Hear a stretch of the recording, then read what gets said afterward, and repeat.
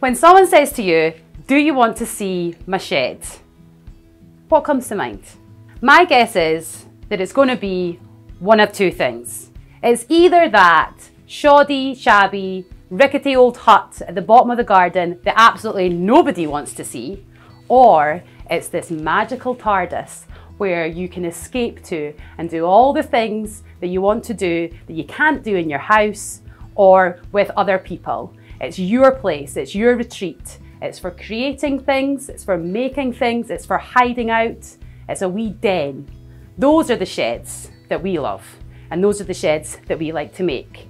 A long time ago, Dad and Grant, the founding directors, John Mackay, Grant Gillies, they started out as landscapers. They spent most of their days laying slabs, building fences.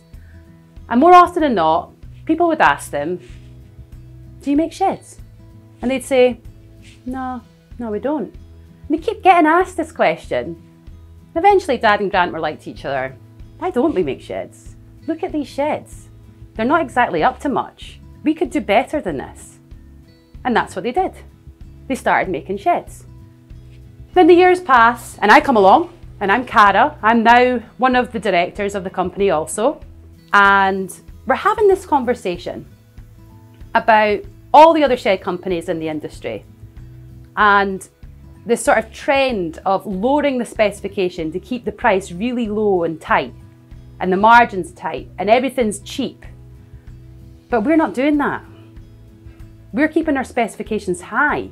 We're making sure that we're using the quality so what we had to do was decide whether or not we were going to stop doing that, lower our material specification and be able to compete on price, or if we were actually going to increase our specification and keep the price at whatever it costs in order to make the best sheds, to make sheds better than anybody else.